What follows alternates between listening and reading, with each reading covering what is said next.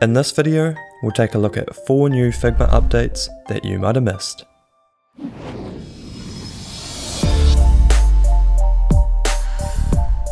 Studio Shephrd. You can now create this glass effect just like Apple, right here in Figma.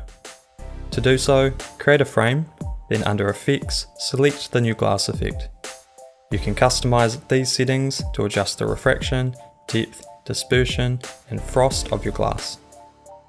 Spin this little guy around to play with the direction of light, and adjust the opacity.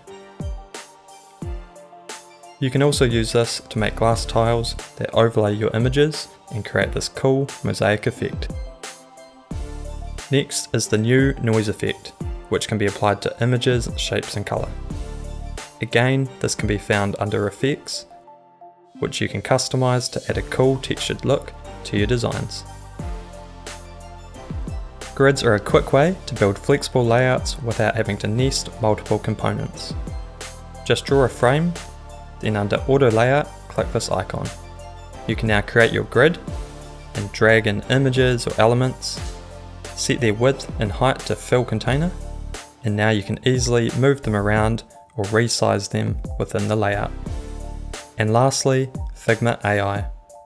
It's packed with helpful tools and can be a powerful assistant, but the two I've been using most are Remove Background, which allows me to edit photos right here in Figma and rename layers, which helps keep my files tidy.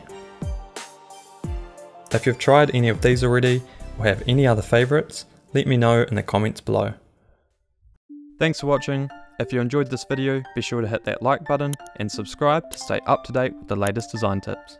I'll see you in the next video.